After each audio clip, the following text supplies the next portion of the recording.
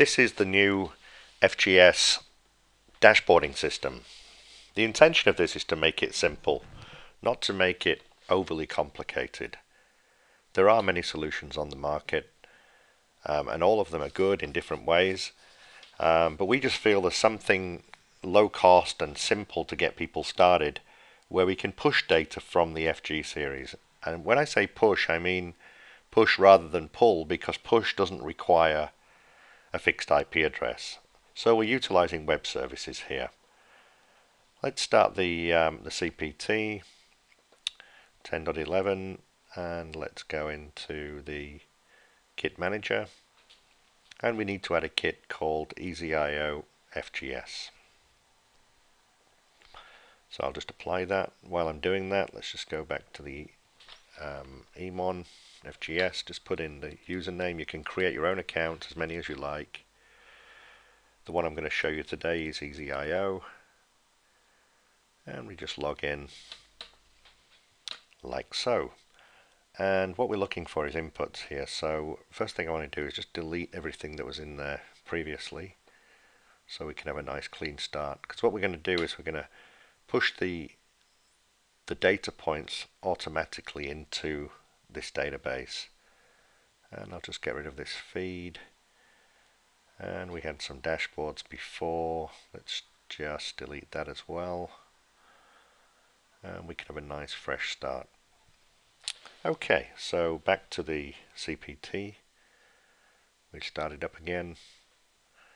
And what you do is you bring in the CPT kit any way you like so what we do is do add an object um, let's go to FGS and let's add the Emon push. Now one of the key things here is don't forget to enable it once you've set it up. I made that mistake before. Uh, let's just add some things that we're going to measure. Ramps are always good. Uh, maybe we have a constant boolean, uh, maybe just two ramps actually I think will be good enough for this. Or maybe even three ramps, we can copy them anyway, so just copy and paste and paste. I'm not going to worry too much about what the data is at this point in time. I really just want to get you started with the FGS at this point in time. So first thing you're going to do is give them names. We're going to call this energy, temp and humidity. So just link these in. Now nothing will happen until we enable the service and what we will do is reduce the update interval to 10 seconds um, we've got the host address, host ID address there for the Emon, and its default is .50. All I need now is just to check the API key. Now every time you set up an account you get a new API key. So go to input, go to the input API helper, and here's your read write API key. Just copy that and paste that into here. And now enable the service. And once it's enabled you see connect data sent connect data sent what it's also done is created those three inputs. So if we go to inputs now you'll see it's created three inputs. If I was to add a second one um, let's just copy it for this exercise. Um, no let let's do it manually because I don't want it to be enabled if I copy it, it will be enabled so let's just go to FGS Emon push this time give them different names call this one Craig, call it Mike, and call this um, Power. Doesn't really matter what they are. And just create, uh, just bring these inputs in to this one now. So you can have as many as you like. It's just pure web services and the FG series is geared up to handle this. And here we go, just put this into here. Enable this and you will find now we will now have six data inputs. So let's just make sure that's data sent. Oh we just need to make sure we've got the correct API key again. Let's just copy that. Put that into here. And you should start to see this working shortly. Let's make that 10 seconds as well and there you go that one's working so if we just go now back to the um, refresh the inputs see now we have six inputs so all we do is go to the uh, little toolbar there and you've got a choice of log to feed, power to kilowatts, um, and any and quite a bit of post kind of um, processing that you could do. You could use an existing one, which we don't have. So I'm just going to call this log energy. Just keep it simple to start with.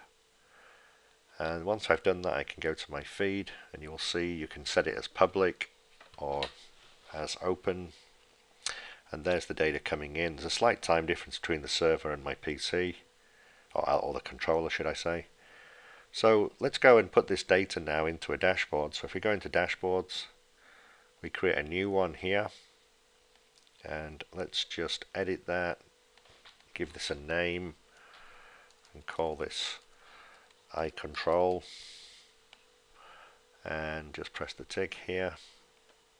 So now if I go into here this is the eye control dashboard. Click on this to edit. When you're finished you'll see there's a small eye there. After you've saved it that will take you back to a nice clean screen. So if I was just to add a, a dial click on here configure that I'm going to log the energy feed because it's the only one I have. I'm going to say the maximum is 100, scale 1, units, kilowatt, type 1, save.